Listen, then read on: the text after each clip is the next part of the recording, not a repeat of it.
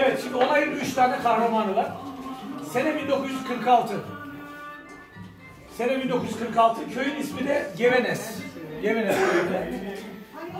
Bay Mustafa diye türküde sözü geçen e, Mustafa Şahbudak.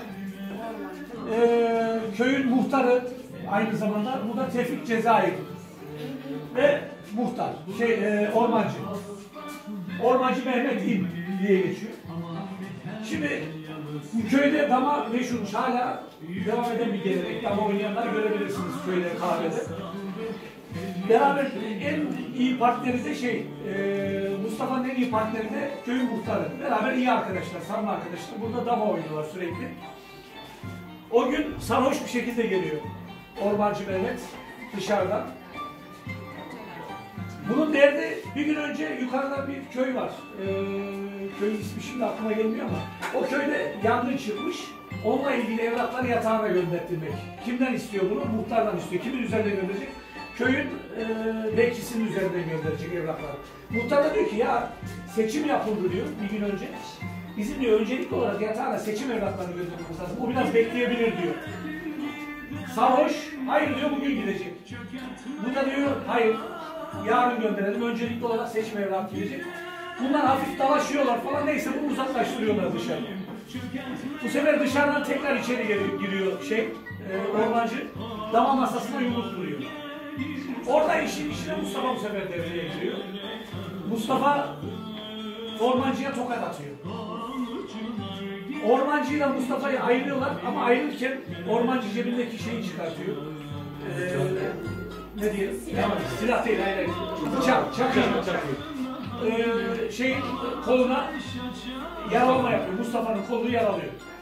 Ondan sonra iş temelli karışıyor. Mustafa bu sefer elinden silahı çıkartıyor. Bir tane ateş, e, tek ateş e, mermi sekiyor.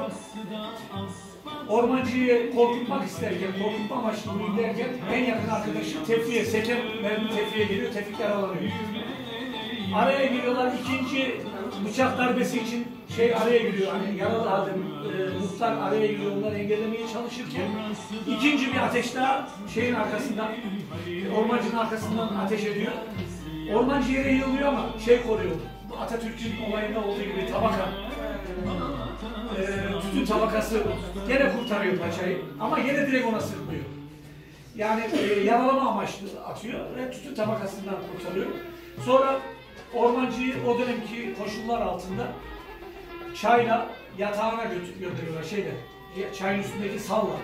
Salla götür. 23 kilometreymiş aşağı yukarı. Tabi orada kurtulma şansı yok. Vefat ediyor.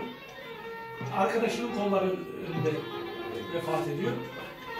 Onun üzerine de işte Değirmenci Tahir isimli bir e, kişi türkü söylemekte, bu yörenin ozanı zaten, adam meşhur. Bu olayı duyar duymaz bunun üzerine türküyü besteliyor. Oldukça da dramatik bir türkü. E, Gevenes'in suları çoktur içmeye, içinde köprü sular gelip geçmeye. Ormancıyı vurdular hiç mi içine? Yazık ettin ormancı köyün iki gencine. Yani birisi en yakın arkadaşını bulmaktan hapse giriyor. Biri ölüyor. Sonra e, 95 yılında ölüyor. Hapisten çıktıktan sonra 25 yıl hapiste yatıyor. Sonra hapisten çıktıktan sonra ormancı başka bir yere tayin oluyor. Böyle dramatik bir olay arkadaşlar. Hepsi burada ve dışarıda cereyan ediyor. Yani bir kısmı burada, bu, bu alanda. Bir kısmı kaçarken dışarıda ateş ediyor. İkinci ateşi dışarıda yapıyor. Böyle dramatik bir olay. Hadi söyleyelim o zaman nakaratı? Nakaratı söyleyelim. Aman ormancı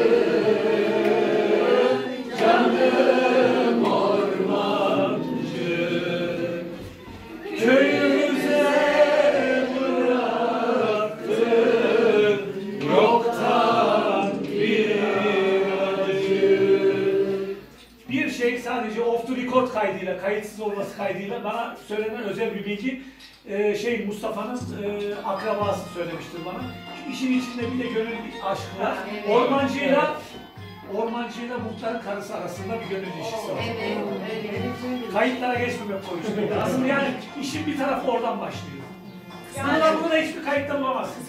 Yani ormancı her koşulda kurtarıyor. Ormancı her koşulda burada olay çıkartacak yani. Tamam.